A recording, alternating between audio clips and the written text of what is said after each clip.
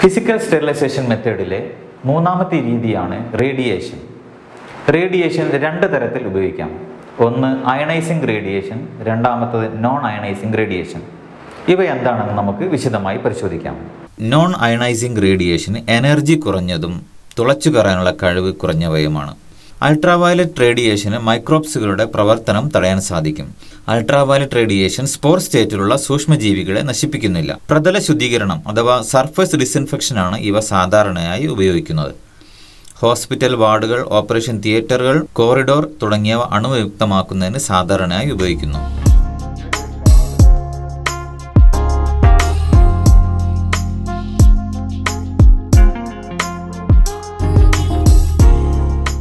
Infrared radiation ഉപയോഗിച്ചുകൊണ്ട് ധാരാളം syringe catheter എന്നിവ ഒരുമിച്ച് മാസ് സ്റ്റെറിലൈസേഷൻ ചെയ്യാവുന്നതാണ്.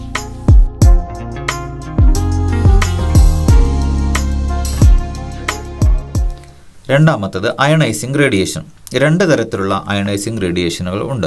ഒന്ന് ഇലക്ട്രോ മാഗ്നറ്റിക് റേഡിയേഷൻ അഥവാ ഗാമ റേസ്. കൂടുതൽ സമയം അണുനശീകരണത്തിന് വേണം. Disposable petri dish plastic syringe antibiotics glassware fabrics എന്നിവ ഇതുപയോഗിച്ച് അണുനശീകരണം നടത്താവുന്നതാണ്.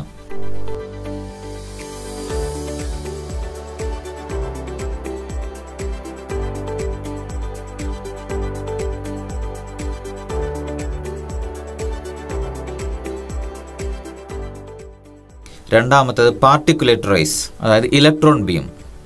ഇലക്ട്രോൺ ബീം ഉപയോഗിച്ചുകൊണ്ട് syringe gloves dressings packs food pharmaceuticals എന്നിവ അണുവിമുക്തമാക്കാം. പെട്ടെന്ന് സെക്കൻഡുകൾക്കകം പ്രവർത്തനം നടക്കുന്നു.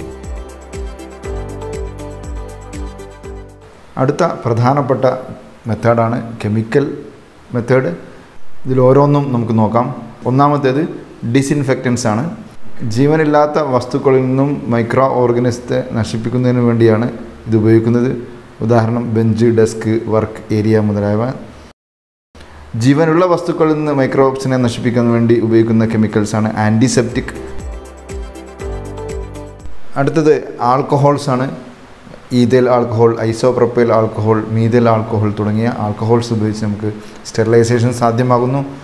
ഇങ്ങനെ നമ്മൾ സ്റ്റെറിലൈസ് ചെയ്യുന്ന സമയത്ത് അല്ലെങ്കിൽ ഏത് പ്രതലത്തിലാണോ നമുക്ക് സ്റ്റെറിലൈസേഷൻ ചെയ്യേണ്ടത് അവിടെ ആൽക്കഹോൾ അപ്ലൈ ചെയ്യുന്നു. അപ്ലൈ ചെയ്യുന്ന സമയത്ത് അവിടെ ഡി സെല്ലിന്റെ ഡീഹൈഡ്രേഷൻ നടക്കുകയും അതേപോലെ മെംബ്രെയിൻസ് ഡിസ്റപ്റ്റ് ആവുകയും അത് മുഖേന പ്രോട്ടീൻസിന്റെ കോയാഗുലേഷൻ നടന്ന് അണു അല്ലെങ്കിൽ മൈക്രോബ്സ് നശിക്കുകയും ചെയ്യുന്നു. അടുത്തത് ആൾഡിഹൈഡ്സ് ആണ്. ഫോർമാൽഡിഹൈഡ് ഗ്ലൂട്രാൽഡിഹൈഡ് തുടങ്ങിയ ആൾഡിഹൈഡ്സ് ഉപയോഗിച്ച് നമുക്ക് സ്റ്റെറിലൈസേഷൻ സാധ്യമാകുന്നു. ഇത് നമ്മൾ സ്റ്റെറിലൈസ് ചെയ്യുന്ന സമയത്ത് അതിന്റെ ന്യൂക്ലിക് ആസിഡിന് ഡാമേജ് ഉണ്ടാക്കുകയും അങ്ങനെ മൈക്രോ ഓർഗാനിസത്തെ നശിപ്പിക്കുകയും ചെയ്യുന്നു. അടുത്തത് ഹാലോജൻസ് ആണ് എക്സാമ്പിൾ ക്ലോറിൻ ബ്ലീച്ച് തുടങ്ങിയവ. ഇത് ഓക്സിഡൈസിങ് ഏജൻസ് ആണ്. ഈ ഓക്സിഡൈസിങ് ഏജൻസ് നമ്മൾ അപ്ലൈ ചെയ്യുന്നത് മുഖേന എൻസൈംസ് നശിക്കുകയും അത് മുഖേന മൈക്രോ ഓർഗാനിസം നശിക്കുകയും ചെയ്യുന്നു. അടുത്തത് ഹൈഡ്രജൻ പെറോക്സൈഡ് ആണ്. ഈ ഹൈഡ്രജൻ പെറോക്സൈഡ് നമ്മൾ അപ്ലൈ ചെയ്യുന്ന സമയത്ത് ഈ ഇതിനകത്തുള്ള മൈക്രോ ഓർഗാനിസത്തിനകത്തുള്ള പ്രോട്ടീൻസ് അതുപോലെ ഡി എൻ എ എന്നിവയെ നശിപ്പിക്കുന്നത് മുഖേന ആ മൈക്രോ ഓർഗാനിസം നശിക്കാൻ ഇടയാവുകയും അങ്ങനെ സ്റ്റെറിലൈസേഷൻ സംഭവിക്കുകയും ചെയ്യുന്നു. അടുത്തത് എത്തിലിൻ ഓക്സൈഡാണ് ഇ ടി ഒ എന്നാണ് അതിന്റെ ഷോർട്ട് ഫോം ഇത് നമ്മൾ ഒരു ചേംബറിനകത്ത് എത്തിലിൻ ഓക്സൈഡ് ഈ അണുവിമുക്തമാക്കേണ്ട വസ്തുക്കളിലൂടെ കടത്തിവിടുകയും അങ്ങനെ ആ അവിടുത്തെ മൈക്രോ മൈക്രോ ഓർഗാനിസം നശിക്കുകയും ചെയ്യുന്നു.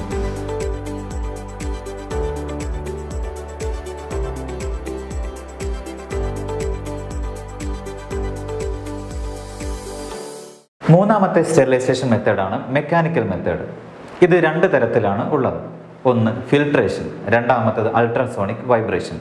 ഇവ എന്താണെന്ന് നമുക്ക് പരിശോധിക്കാം. ഈ രീതി മൈക്രോബ്സിനെ കൊല്ലുന്നില്ല. അവയെ അരിച്ചു മാറ്റുകയാണ് ചെയ്യുന്നത്.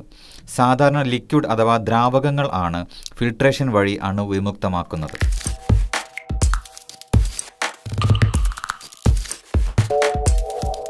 ഫിൽട്ടറുകൾക്ക് സഹായിയായി പോസിറ്റീവ് അല്ലെങ്കിൽ നെഗറ്റീവ് പ്രഷർ വാക്കും ഉപയോഗിക്കാറുണ്ട്. ഓട്ടോക്ലേവ് ചെയ്യാൻ പറ്റാത്ത സൊല്യൂഷനിൽ നിന്ന് മെംബ്രെയിൻ ഫിൽട്ടർ ഉപയോഗിച്ച് മൈക്രോബ്സിനെ വേർതിരിച്ചെടുക്കാം. ഉദാഹരണത്തിന് serum antibiotic solution sugar solution urea solution.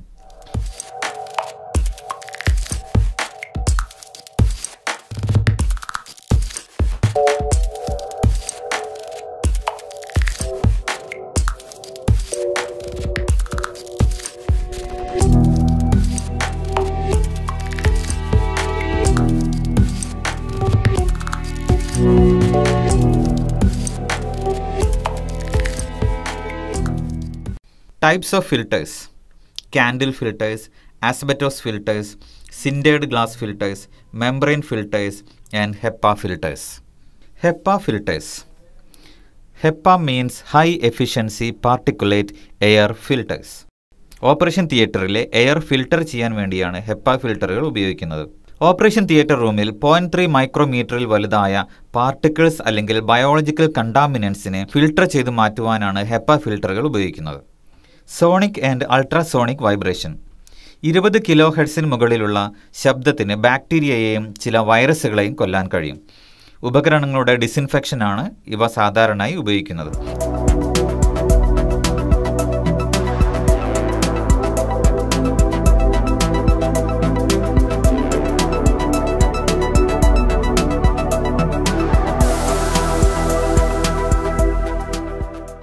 ഒരു സ്റ്റെറിലൈസേഷൻ സൈക്കിൾ പൂർത്തിയായി കഴിഞ്ഞാൽ എല്ലാ മൈക്രോ ഓർഗാനിസംസും നശിച്ചു എന്ന് ഉറപ്പാക്കേണ്ടത് വളരെ അത്യാവശ്യമാണ്. ഇവിടെയാണ് സ്റ്റെറിലൈസേഷൻ കൺട്രോൾ അല്ലെങ്കിൽ സ്റ്റെറിലൈസേഷൻ ഇൻഡിക്കേറ്റേഴ്സിന്റെ പ്രസക്തി. കൃത്യമായി പറഞ്ഞാൽ സ്റ്റെറിലൈസേഷൻ സൈക്കിൾ പൂർത്തിയായ ഒബ്ജക്ട്സിൽ സ്റ്റെറിലൈസേഷൻ അച്ചീവ് ചെയ്തിട്ടുണ്ടോ എന്ന് ഉറപ്പുവരുത്തുന്നതിനാണ് സ്റ്റെറിലൈസേഷൻ ഇൻഡിക്കേറ്റേഴ്സ് സാധാരണയായി ഉപയോഗിക്കാറുള്ളത്.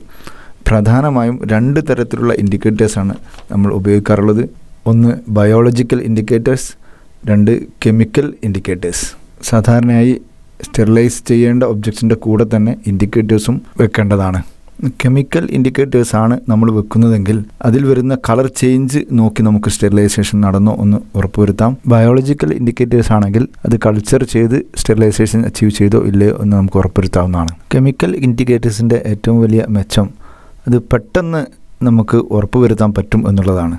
അതായത് കളർ ചേഞ്ച് ഉടനെ തന്നെ നമുക്ക് നോക്കാനും അത് മനസ്സിലാക്കാനും സാധിക്കുന്നു എന്നുള്ളതാണ്. എന്നാൽ ഇതിന്റെ ഒരു ഡീമറിട്ട് മൈക്രോ ഓർഗാനിസംസ് നശിച്ചോ ഇല്ലയോ എന്ന് നോക്കുന്നതിന് പകരം ആ സ്റ്റെറിലൈസേഷന്റെ കണ്ടീഷൻസ് അച്ചീവ് ചെയ്തോ എന്നാണ് ഇവിടെ നോക്കുന്നത്. അതുകൊണ്ട് അത് ഇൻഡയറക്റ്റ് മെത്തേഡാണ്. അതാണ് ഇതിന്റെ ഒരു ഡീമെറിറ്റ്. ബയോളജിക്കൽ ഇൻഡിക്കേറ്റേഴ്സിന്റെ ഏറ്റവും പ്രധാനപ്പെട്ട മെച്ചം സ്റ്റെറിലൈസേഷൻ പൂർണമായും നടന്നു എന്ന് നമുക്ക് നൂറ് ശതമാനം ഉറപ്പാക്കാൻ പറ്റും എന്നുള്ളതാണ്. ഇതിന്റെ ഒരു ഡീമെറിറ്റ് കൾച്ചർ ചെയ്ത് പരിശോധിക്കാൻ ചെലവും സമയവും കൂടുതലെടുക്കും എന്നുള്ളതാണ്.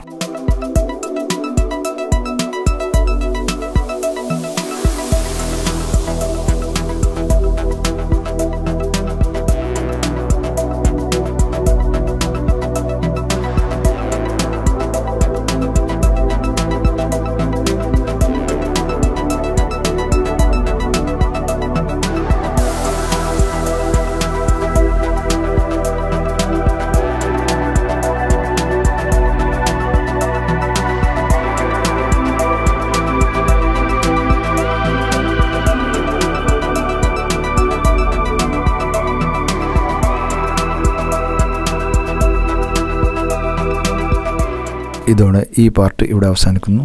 താങ്ക്